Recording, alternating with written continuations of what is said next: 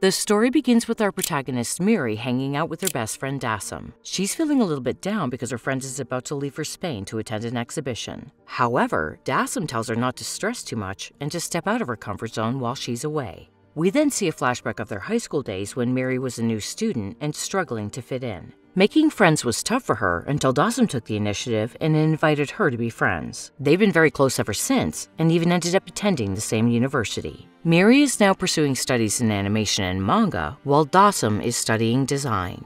In the present, Dassam leaves for her trip and Miri starts working part time at a cafe. She then attends her first day of college, where a teacher assigns them to create a webtoon project with a group of three people. A senior student approaches Miri and asks her to join his team. He also invites another student named Dae Kong, but the latter declined. The senior then says that they will fail the assignment if the group is not complete. Hearing this, Mary panics, so she pleads with Dae Kong and finally convinces him to be part of the team.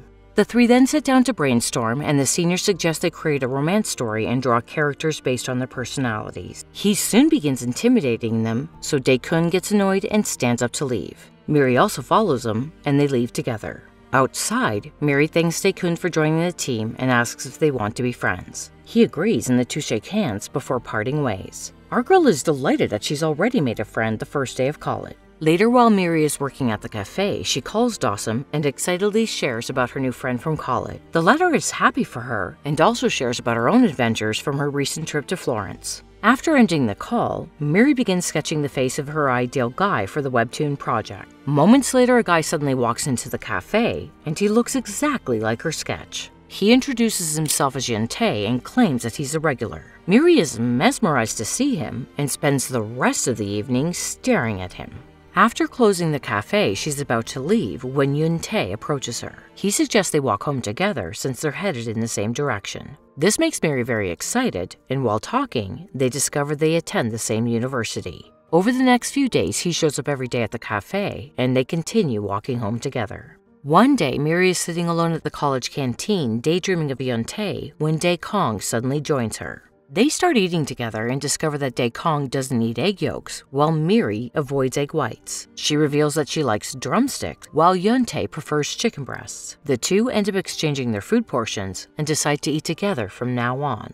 In the evening, Miri serves coffee to Yuntae and starts chatting about her best friend's recent trip to Florence. Hearing this, he reveals that he was also there for a few days and had an amazing experience. Yuntae now wishes to go back there with someone he loves. Miri's heart begins to flutter since she thinks he might be talking about her. The following day, Miri and Dae Kong meet with the senior guy to discuss their project. The latter is very annoying once again and criticizes them for their plot, claiming that the story is too bland. He then begins to behave inappropriately with Miri, and when Dae Kong tries to intervene, he deliberately pours a drink on him.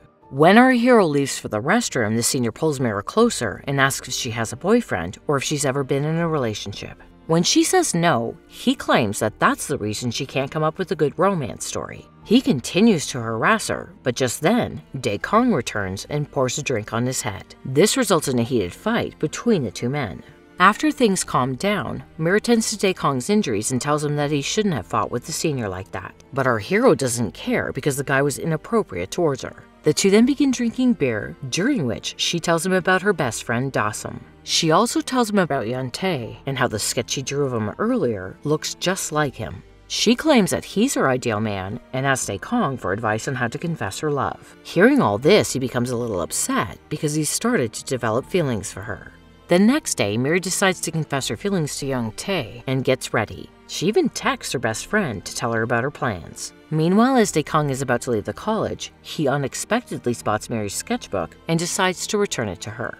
When Yun Tae arrives at the cafe, Miri prepares his favorite drink and gathers her courage to confess her feelings. But just as she's about to do so, Dassam suddenly arrives and Yun Tae rushes to hug her. The two shockingly reveal that they met in Florence, fell in love during that time, and are now in a relationship. Miri feels like her world is shattered and she's left speechless. Just then, Dae Kong shows up to return her sketchbook, and Dawson asks who he is. Realizing that her friend has already read her text, Miri admits that Dae Kong is the guy she likes. She's embarrassed and tries to leave, but Dae Kong holds her hand and admits that he likes her too. Both Dassam and Yuntae are overjoyed to see this, and they congratulate the new couple. Afterward, when Mary and Daekong are alone, she apologizes to him and tries to explain the situation, but he stops her and says he's already figured it out. He then suggests that they start a fake relationship to avoid any suspicion from Daesum. Mary isn't entirely thrilled with this idea, but feeling she has no other options, she agrees. The following day, the two couples decide to go on a double date to watch a movie. During this time, Yuntae and Dawson grow closer, while Miri and Daekong maintain their distance. Turns out they've created a contract agreeing not to engage in physical affection, like hugs and kisses. As they leave the theater, Dawson asks them why they're not holding hands. Daekong replies that they've just started their relationship yesterday, and they don't want to rush things. They then go out to eat, where Yuntae begins feeding Dawson with his hands. This makes our heroine very jealous, but she can't do anything about it. Later, the couples part ways Mary fights with Daekong about how unlucky she feels, as this is the first time she falls in love, and it's with her best friend's boyfriend. In response, he claims that for her to move on, she needs to find a way to hate Yuntae.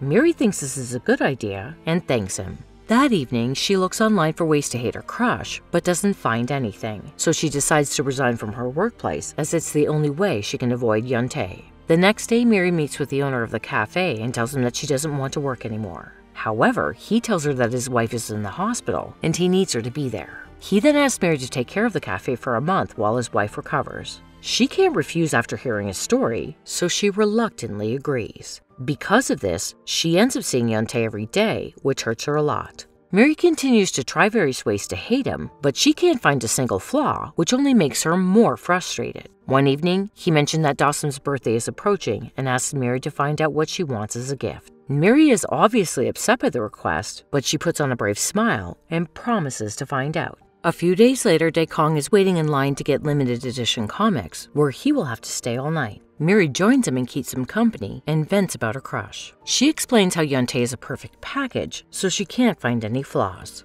Daekong is annoyed by the fact that she only talks about her crush, but he tries his best to tolerate it. Meanwhile, Mary looks around and notices that other people are wearing blankets. She then decides to buy a blanket for them as well. However, since there's only one left, they're forced to share it and spend the night together.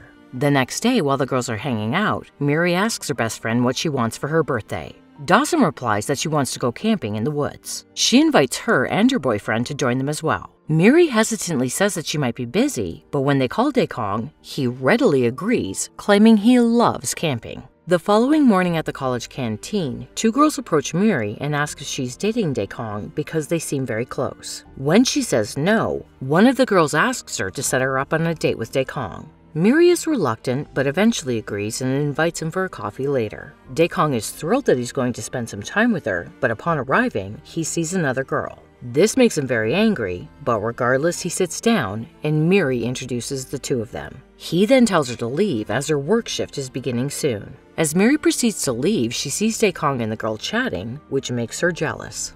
The following day, the group goes camping for Dawson's birthday. They have a lot of fun hanging out and cooking. However, Daekong continues to avoid Miri, which makes her worried. She then approaches him and asks how his day went yesterday, but he doesn't reply. In the evening, the group sits down to play Truth or Dare. When it's Daekong's turn, Dawson asks him what he wants to tell Miri that he hasn't already. Our hero then looks into her eyes and tells her that he likes her sincerely. The other two are very happy to hear this, but Miri is shocked. Her friends encourage her to respond to his feelings, but she gets nervous and walks away. Daekong follows her, and she asks if he said those things to pretend in front of his friends. However, he replies that he genuinely likes her and that what he said was true. He reveals that he liked her long before they even met in class. During the college entry exam, she left him a pencil with some encouraging words on it. He admits that he only got through the exam because of her. Daekong then confesses that he's been trying to hate her, but it's just not happening. He also admits that the date the other night with the other girl didn't go well because he was never interested in her. Miri is shocked to hear this, but she coldly says that she likes Yuntae and not him. Hearing this, Daekong is heartbroken, so he suggests that they should end their fake relationship. When Miri returns to the camp, she finds Dawson in a very angry mood. Turns out she overheard the entire conversation and found out the truth. She accuses Miri of lying to her and claims that their friendship is over. Dawson then walks away, while Miri feels guilty and bursts into tears. In the following days, Dawson cuts off all contact with Miri, leaving her all alone. Daekong also doesn't come to college, and Yuntae stops visiting the cafe. Because of this, Miri feels very bad and blames herself for hurting those close to her. A few days later, Yuntae finally comes to the cafe and sits down for a conversation. He apologizes for not realizing her feelings and for leading her on all this time. Yuntae explains that Dawson has broken up with him because she values her friendship with Miri more than their relationship. He then asks Mary to be a good friend and to do what's right. The following day, she notices Dawson in the college canteen and tries to talk to her. However, the latter refuses to acknowledge her and walks away. She is then unexpectedly confronted by the girl Daekong had rejected. This girl and her friend push Mary to the ground and start calling her bad names. Mary feels helpless and begins to cry, but Dawson suddenly arrives to defend her friend. She then ends up beating up the bullies and warns them to stay away from Mary from now on. Later, the two sit alone and clear up the misunderstanding. Dawson doesn't blame her best friend and claims that if she were in her place, she would have done the same thing. After clarifying everything, she tells Mary to express her feelings to Dae Kong, as he is the only one who truly loves her. In the evening, Mary sits down and sketches a portrait of Dae Kong. She then goes to his house and tries to call him, but he doesn't answer. Assuming that he doesn't want to talk to her, she leaves a voicemail expressing how much she likes him. At this moment, Daekong arrives behind her and startles her. She asks why he didn't come to college, to which he responds that he had the flu. Miri then apologizes for not realizing his love sooner and confesses her feelings. She says that she doesn't want to force him into anything and will wait for his answer. For the first few seconds, Daekong doesn't say anything, which makes Miri very nervous, but then he suddenly kisses her, and the drama concludes with this beautiful ending.